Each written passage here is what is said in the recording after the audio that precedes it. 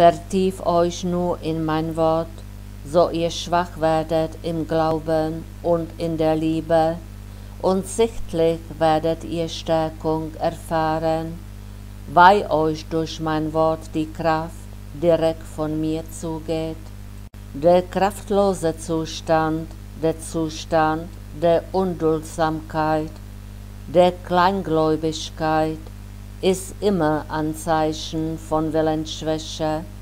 Er ist ein Zeichen, dass sich mein Gegner wieder große Mühe gibt, euch abwendig zu machen von mir, und ihr widersteht ihm nicht, weil ihr zu schwach seid, und lasst euch von ihm aufreizen zu unruhigen Gedanken, zum Zweifeln und auch zu lieblosen Handlungen, wenn ihr ihm nicht den Widerstand entgegensetzt, der euch frei macht von ihm, wenn ihr ihm nicht mein Wort entgegenhaltet, dass er nicht hören kann und darum flieht. Denn mein Wort ist Kraft, mein Wort gibt euch die euch fehlende Kraft und verdrängt ihn auch aus eurer Nähe, weil mein Gegner mich flieht, der ich euch im Wort gegenwärtig bin. Was habt ihr also zu fürchten, so ihr im Besitz meines Wortes seid und euch hinein versenkt in jeder geistigen und irdischen Not? Ob ihr mich im Gebet anruft, ob ihr mich zu euch reden lässt im Wort, immer verlangt ihr dann nach meiner Gegenwart, und es wird euch geholfen.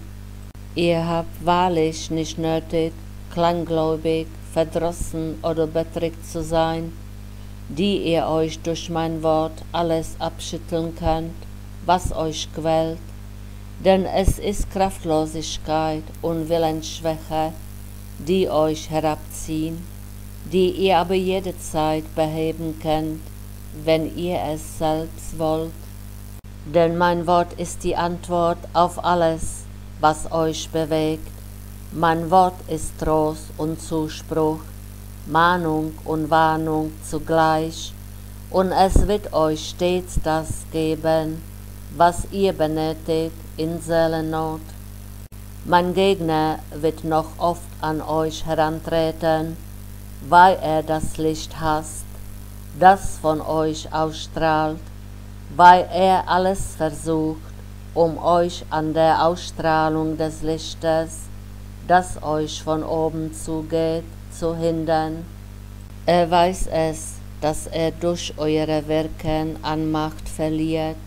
Er weiß es, dass ihr ihm Seelen abwendig macht, und er scheut daher vor nichts zurück, um euch zu Fall zu bringen.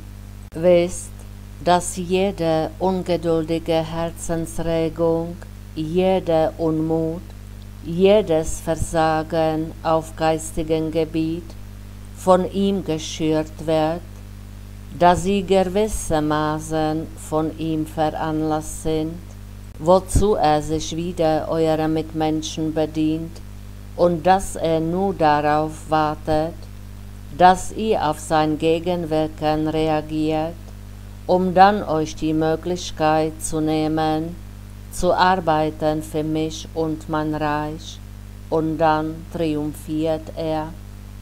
Lasst ihm nicht diesen Triumph, sondern flüchtet euch zu meinem Wort, das immer die Gegenkraft ist seines Wirkens und das ihn immer besiegen wird.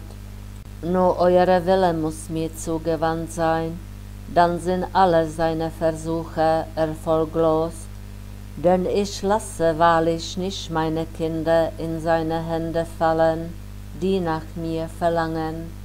Ich rede dann voller Liebe zu euch und gebe euch wieder, was er euch entreißen wollte, den Glauben, die Liebe, die Ruhe des Herzens, den Frieden aus mir.